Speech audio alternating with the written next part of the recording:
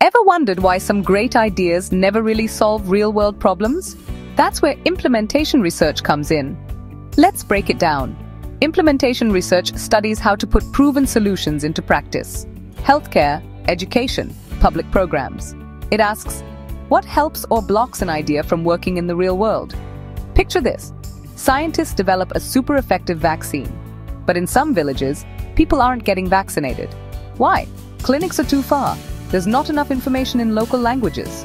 Implementation research dives into these gaps. It finds out what's really happening. It gathers data, then it suggests changes, mobile clinics, awareness campaigns. It's not just about what works in a lab, it's about making sure it works for everyone, everywhere. Think of it like testing a new recipe, perfect in a chef's kitchen. But can regular people cook it at home?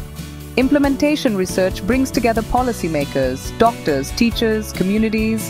It uses interviews, surveys, videos to collect clues. Then it helps tweak the plan so it fits real-life needs. Hear about a big government scheme or a health campaign?